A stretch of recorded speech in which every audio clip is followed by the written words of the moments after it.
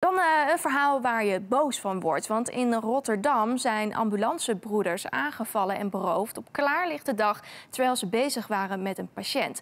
We zien de directeur van de veiligheidsregio Rotterdam-Rijnmond eh, twitteren uh, dat terwijl een ambulancebemanning een patiënt aan het behandelen was, gooit een onverlaat een steen door de voorruit van de ambulance en jat een tas.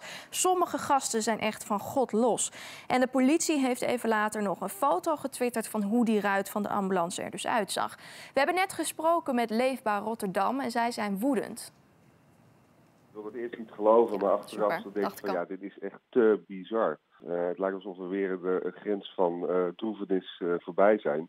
En deze mensen hebben echt geen moraal besef. er moeten wel mensen zijn die dit gezien hebben. En zorg maar dat er een beloning komt, zodat mensen deze gasten gaan verlinken.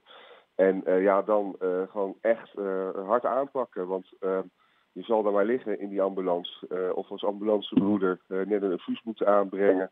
Prik moeten geven of andere verpleegkundige handeling moeten verrichten. Die zet je natuurlijk het leplazerus.